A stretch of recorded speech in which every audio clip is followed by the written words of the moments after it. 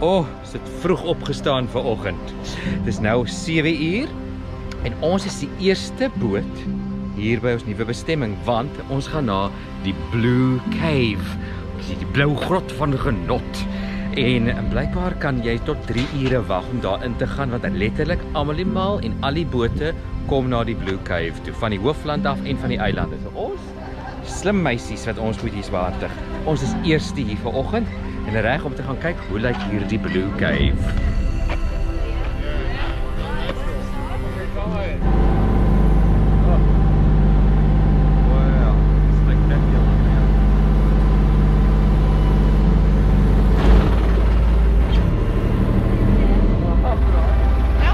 Daar's die grot.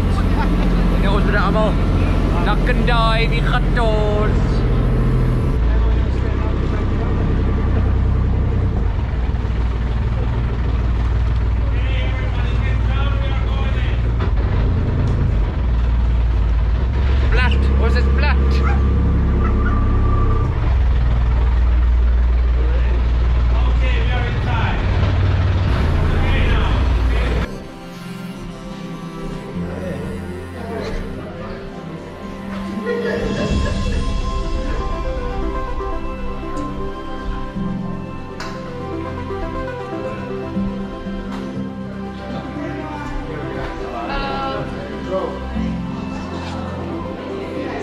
The white sand at the bottom and then it comes back inside of the cave.